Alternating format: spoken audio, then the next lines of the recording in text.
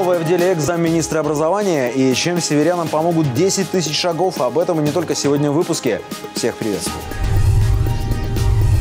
Тромбозу нет. Настоящей угрозе 21 века можно и нужно противостоять. Как теперь знают участники акции «10 тысяч шагов». Архангельский ЦБК вошел в список мировых климатических лидеров. Гигант отрасли включился в программу сокращения выбросов парниковых газов. 19-й по счету и первый в Архангельске – это профинал конкурса СМИ «Патриоты России» в числе лучших и наши коллеги. Скоро подробности.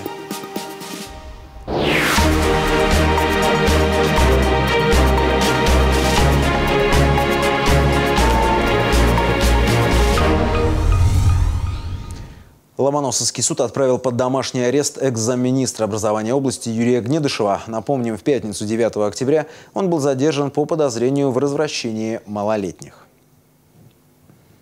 Органам предварительного следствия э, возбуждено ходатайство перед Ломоновским районным судом об избрании меры пресечения в виде заключения под стражу в отношении экс-чиновника правительства Архангельской области.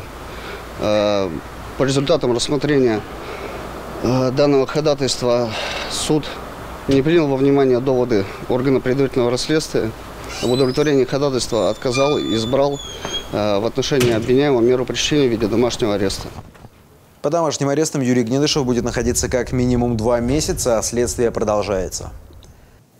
Природоохранную политику усиливает Архангельский ЦБК. Предприятие совместно с САФО организовало обучение своих ведущих специалистов по магистрской программе «Промышленная экология». Среди первых студентов – инженеры, юристы и экономисты. Михаил Меньшенин подробнее.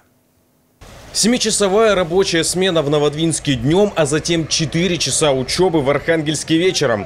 Такой непростой график для Елены Гуровой станет привычным на ближайшие два года. Девушка – инженер-конструктор АЦБК. На предприятии занимается перевооружением производства, подключает в работу оборудование. Сейчас осваивает новую специальность по промышленной экологии.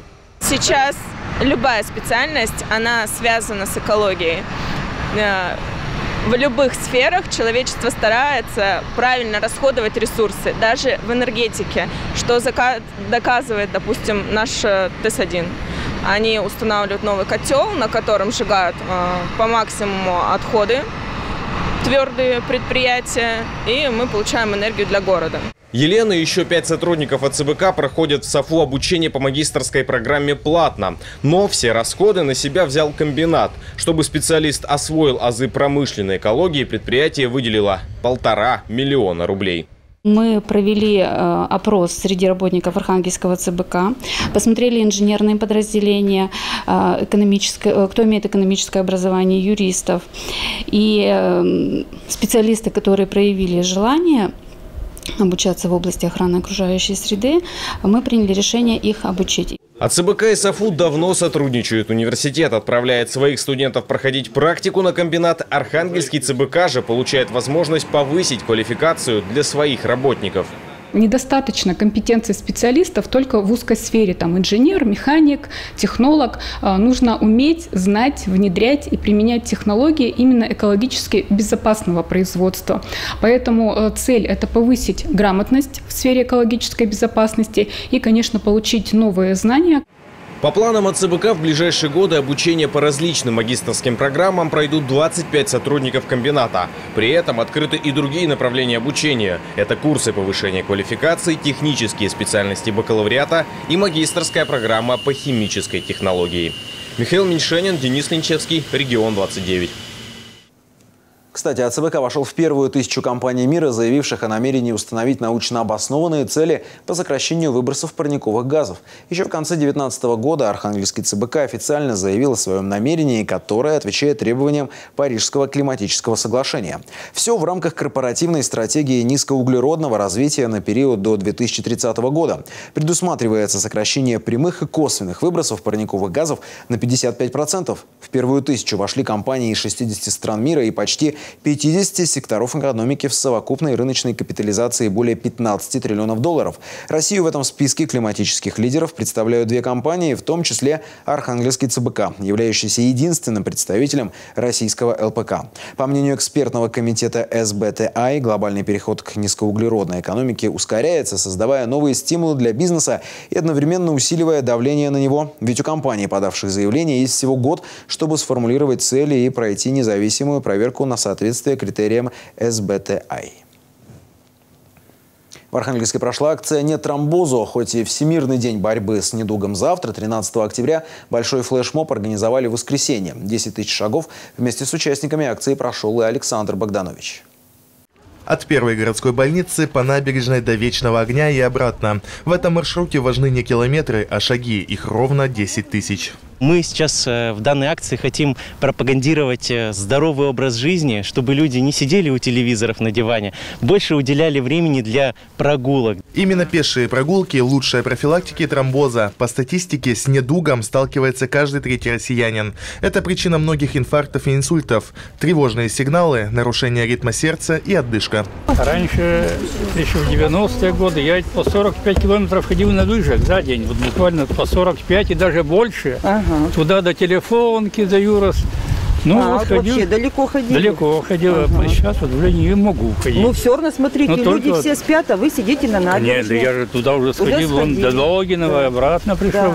Да. Архангельск против тромбоза! Позитивное, хорошее настроение получаем, наверное. Да, и все. Вы сегодня получили позитивное да, настроение? получила на весь день. Акция стала не только хорошим поводом для профилактики, но и для разъяснительных бесед с каждым встречным. Своими мыслями делится Виктория Айвазова. Планку в 10 тысяч шагов берет вместе с сестрой и бабушкой. Если человек будет много ходить, гулять, тогда он может дожить э, до 100 и больше лет. Ага, скажи, а ты сама любишь гулять? Да, я люблю гулять. Я с друзьями гуляю каждый день.